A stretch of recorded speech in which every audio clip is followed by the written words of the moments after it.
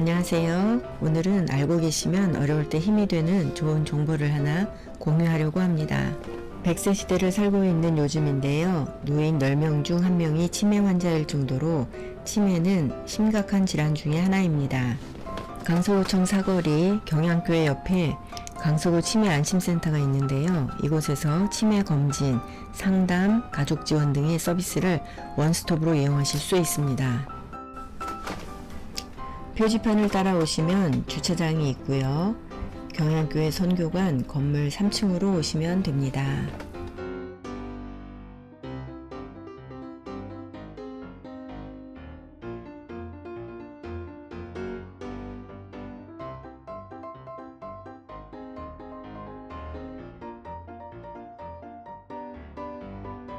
이러한 치매 안심센터는 2017년 치매 국가 책임제가 시행되며 전국 시군구 보건소에 256개소가 설치되었는데요.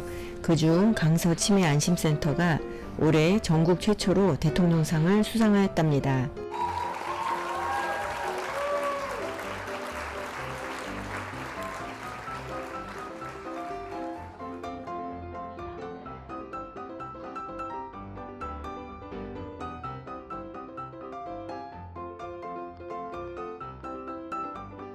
치매 예방할 수 있답니다.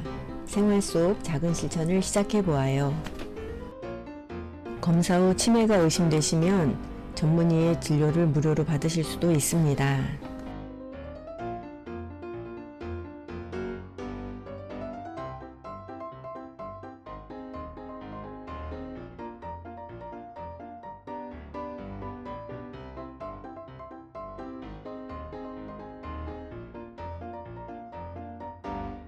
저는 이곳에 와서 새로운 기기들을 많이 볼 수 있었는데요. 무너진 신체 밸런스의 주요 원인이 보행에서 온다고 합니다. 이 기기는 보행 평가를 통한 치매 선별 검사를 할 수 있는 기기라고 합니다.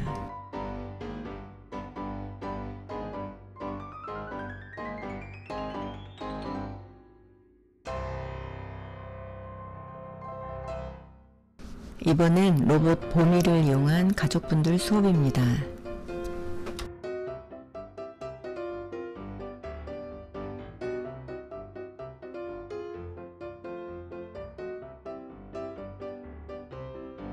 또 다른 강의실에서는 치매 어르신을 대상으로 줌을 이용한 화상 수업을 진행하고 계셨는데 많은 어르신들이 참여하셨을 뿐 아니라 서로 소통하며 잘 따라서 하고 계시네요.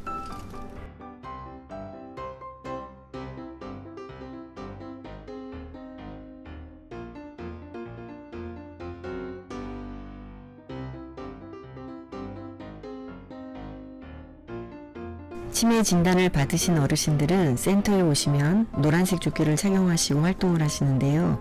센터 이탈 시 경보음이 울리도록 장치가 되어 있다고 합니다.